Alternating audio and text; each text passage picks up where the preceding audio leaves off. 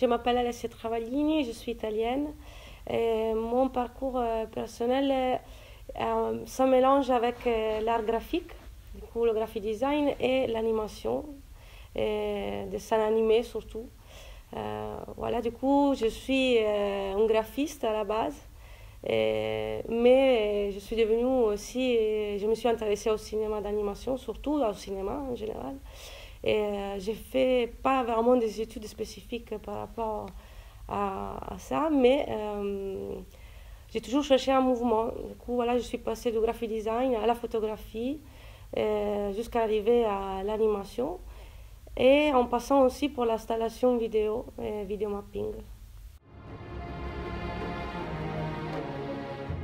Le projet s'appelle Mes maisons volantes c'est un projet personnel euh, et intime, autobiographique, euh, autour du sujet de la maison entendu comme foyer. Euh, et aussi autour de la migration intra-européenne. Beaucoup voyagé et je me suis beaucoup déplacée, j'ai changé de pays souvent. Maintenant, je suis installée en France et dans le sujet de mon court-métrage, il y a aussi ce déplacement l'enquête sur euh, ce que ça veut dire changer de maison à la recherche d'un foyer, euh, à la recherche de, la sensation de se sentir chez soi. Bah, l'idée, c'est en fait d'arriver à faire un court métrage à la fin. maintenant, c'est surtout ce que je vais faire pendant la résidence, c'est l'écriture et une recherche graphique. où en fait le personnage principal de mon court métrage, c'est une fille aux cheveux roux euh, qui s'appelle Alexis, euh, et qu'il est un personnage euh, récurrent dans mon travail, dans mes dessins, et ça, ça représente un peu mon alter ego. Et cette fille, va, elle commence un parcours qui reprend un peu soit mes souvenirs, mes mémoires, et, et s'entremêle aussi à des, des lieux oniriques et poétiques euh, où la, la, maison change de forme.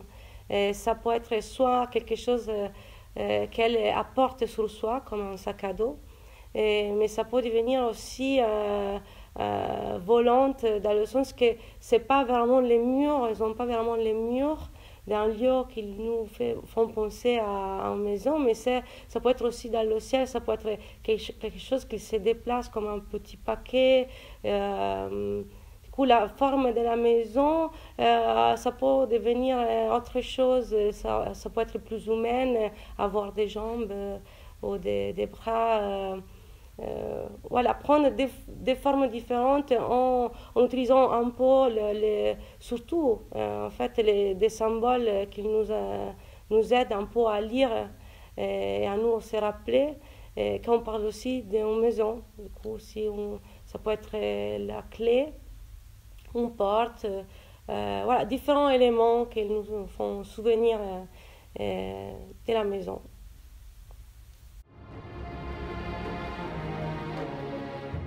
Pendant la résidence, ce que je voudrais bien arriver à faire, c'est écrire, écrire mieux un scénario et faire un storyboard. Et pour faire ça, euh, je veux aussi mener une recherche, une recherche que je ne veux pas faire toute seule. Euh, j'ai l'occasion d'être en résidence dans, la demeure de René Guicadou et, et, l'occasion de partager grâce à des ateliers euh, aussi cette question c'est quoi pour toi la maison, c'est quoi pour toi se sentir chez toi. Et ça, c'est ce que je veux vraiment faire euh, en travaillant avec les autres, euh, avec un partage des, pensées, des sentiments, des souvenirs et des images. Euh, c'est surtout pour moi cette résidence une occasion de recherche sur ce sujet. J'aime bien bah, Dali ou aussi toutes les techniques d'écriture automatique. Euh, j'aime bien tout ce que c'est un peu la recherche, euh, la recherche qu'ils ont menée, les, surréalistes pendant leur époque, une époque euh, sûrement très différente à ce qu'on vit maintenant.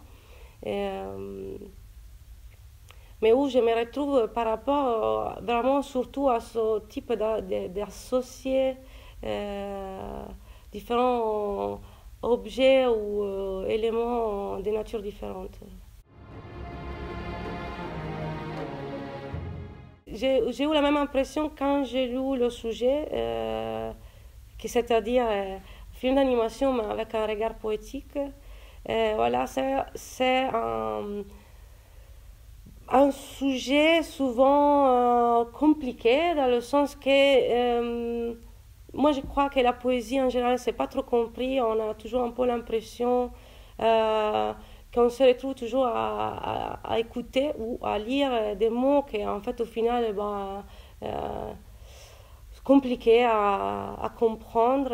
Mais en fait, ça se rapproche pour moi surtout euh, beaucoup au surréalisme et à l'onirique, à, à, le fait d'associer euh, des choses qui peuvent être très loin, ou quand même euh, différentes, mais qu'en fait, si on les met ensemble, voilà, ils nous expliquent un sentiment plutôt que quelque chose de concret et documentaliste.